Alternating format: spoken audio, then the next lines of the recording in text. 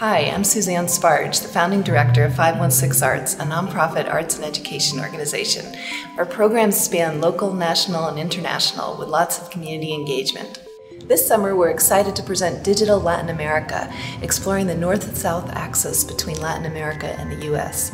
If 516 Arts becomes solar powered, the money we would save on electricity would help support the work of artists from New Mexico and beyond, as well as free year round arts programs.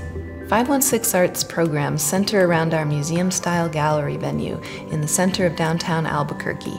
Openings and events bring the community together and generate lots of excitement, dialogue, and interaction among artists and the public. This spring, we had a particularly high energy opening for the Heart of the City exhibition, which brought together youth and education organizations to focus on the urban environment and the future of downtown Albuquerque.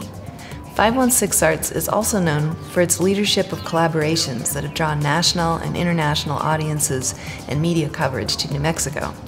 Recently, Local IQ magazine called 516 Arts an innovative venue functioning more as an interactive learning space than a traditional gallery. All of us at 516 Arts welcome the opportunity to work with Positive Energy Solar, a company that's very highly respected in New Mexico for their high quality of work and their commitment to best environmental practices. They're the state's largest employee owned company. Please vote for this video to help make 516 Arts a solar powered arts venue.